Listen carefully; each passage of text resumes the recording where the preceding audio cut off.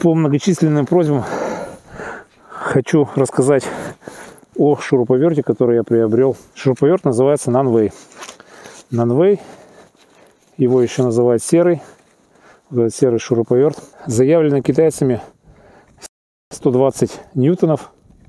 По факту не знаю сколько, но я расскажу свои впечатления. Значит, шуруповерт весит порядка 2 килограмм. Ну, около двух. Значит, у него есть шкала индикации батареи, но я ей не пользуюсь, потому что у меня батарея Makita. На самой батарее у меня есть тоже индикатор, я смотрю никаких проблем. Значит, э, шуруповерт отличного на вид качества, прямо вообще прорезиненный корпус. Все очень аккуратненько сделано, прямо по красоте. Есть первая, вторая передача скорости. Значит, э, бурит он только на первой, вторую я пытался, на 130-м буре он затыкается. А, не пошло. В общем, да мне и первого хватает, потому что вполне, вообще вполне достаточно. Чехол использую. Но ну, а чехол нужен, потому как мы рыбачим снег, мороз. Здесь утепленный, здесь с вентиляцией. Есть трещотка такая. Раз. Оп, и все. Зафиксировался. Давай посмотрим. Бурит он вообще легко. Я этим шуруповертом пробурил на одном аккумуляторе Makita 4 амперном 68 а, дырок. Так это сверлит.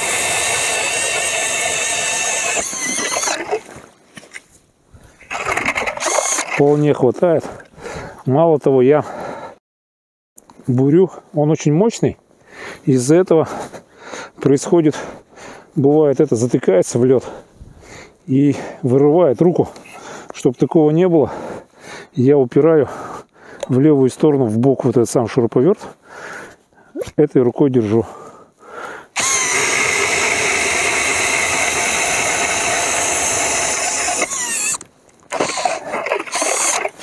И происходит, когда срыв в эту сторону идет, он просто в тело у меня упирается. Никаких повреждений рук не может быть. Использую я э, лидобур Nero 130 шнек и вот эту переходник, адаптер, тоже Nero на подшипниках. На подшипниках я тут модернизирую, потому что когда ставишь э, адаптер в шнек, то тут люфт очень большой. Я его устранил пивной банкой. Ну, то есть, как бы подложил фольгу, убрал люфт. Незначительный, но все равно люфт. Тем не менее, ничего не болтается, ничего не гремит.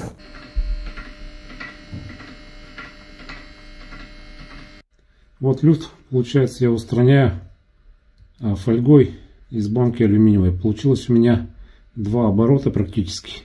И вот она сейчас очень туго у меня сюда входит. Аккуратненько так, оп, прямо туго-туго идет. Вставлю, бол болтом затяну. И получается, здесь у меня вот эта часть уже не должна свободно болтаться. Перпендикулярно болту ручку поставить. Люфт все равно есть. Небольшой, но есть, тем не менее. Если вдоль болта, его нету абсолютно. В общем, полностью я не избавился, но однозначно стало лучше. Ничего не бренчит. Батарею, значит, мы испытывали на температуре, при температуре минус 20, минус 24. То есть сверлили, никаких проблем, вообще нормально все. То есть на 4-амперном аккумуляторе у меня получилось 68 дырок я просверлил при толщине льда, ну где-то по колено, чуть, ну да, по колено где-то. Вполне зачетный результат. А, кстати, э, товарищ у меня Дениска, у него аккумулятор из Китая 6-амперный заказал. Так вот, в прошлый раз рыбачили 6-амперный, дольше продержался гораздо, чем 4-амперный э, оригинальный макитовский. То есть можно брать китайский и как бы все хорошо.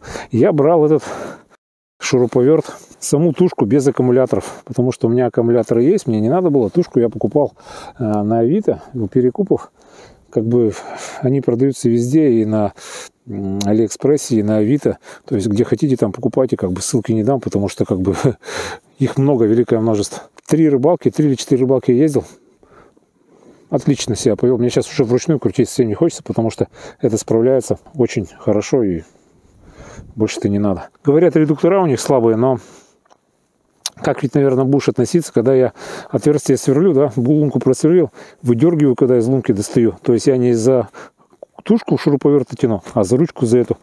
Она как бы более надежнее, все-таки все-таки металл э, крепкий.